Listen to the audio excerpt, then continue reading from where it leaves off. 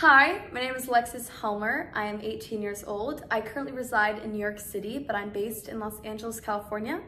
And this monologue is from Rabbit Hole by David Lindsay-Abaire.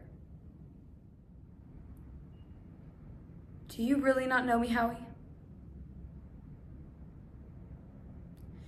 Do you really not know how utterly impossible that would be?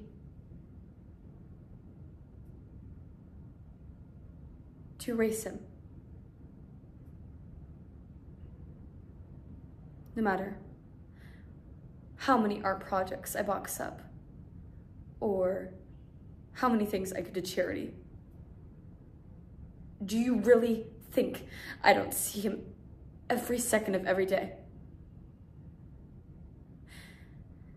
And look, okay, I'm trying to make things a little easier on myself by hiding some of the photos and giving away some of the clothes, but that does not mean I'm trying to erase him.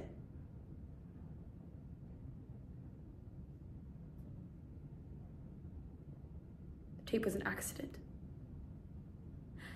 And believe me, I will beat myself up about it forever. Like everything else I could have prevented, but I didn't.